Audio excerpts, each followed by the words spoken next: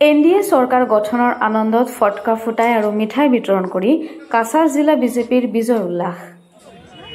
আবকিবাৰ চাৰচপাৰ সপোন ব্যৰ্থ হলেও অৱশেষত নৰেন্দ্ৰ মোদীৰ নেতৃত্বত তৃতীয়বাৰৰ বাবে চৰকাৰ গঠন হবলৈ গৈ আছে।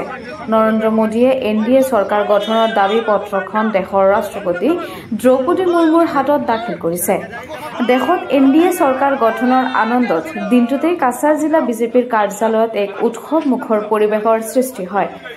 বিজেপিৰ কাৰ্যালয় সন্মুখত আতচবাজী আৰু মিঠাই বিতৰণ কৰি ঐক্যবদ্ধভাৱে এই দিনটো স্মৰণ কৰে দলৰ বিভিন্ন স্তৰৰ কৰ্মীসকলে। কাছাৰ বিজেপিৰ কৰ্মীসকলে ঐক্যবদ্ধ হৈ ইজনে সিজনক মিঠাই খুৱায়। পিছত কাছাৰ বিজেপিৰ কৰ্মীসকলে ফটকা ফুটাই দিনটো উদযাপন কৰে।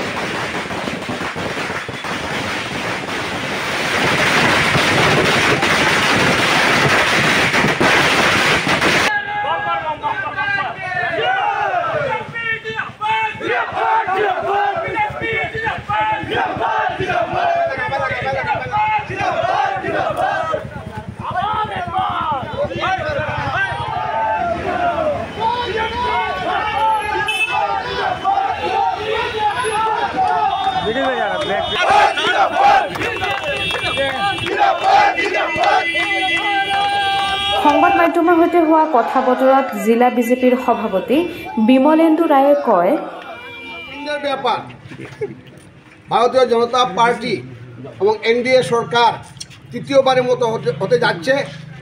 আজ আমাদের মাননীয় নরেন্দ্র মোদী এনডিএর কে নিয়ে ভারতবর্ষ শাসন ক্ষমতার জন্য রাষ্ট্রপতির হাতে দাবি জানিয়েছেন।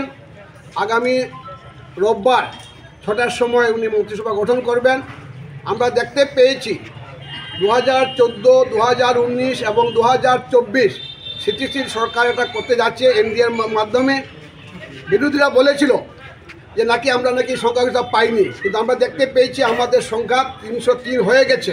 আমরা গততেও আমরা তিনশো তিন ছিলাম। এটা একটা বিভ্রান্তি ফেলেছিল কংগ্রেস।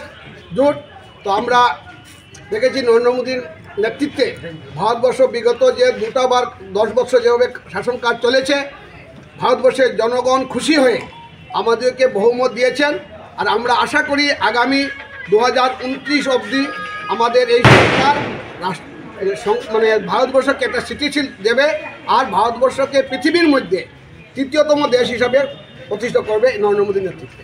উচিত আছেন ভারতীয় জনতা পার্টি প্রদেশ কমিটির সম্পাদক কনাথ প্রকাশিত মহাশয়।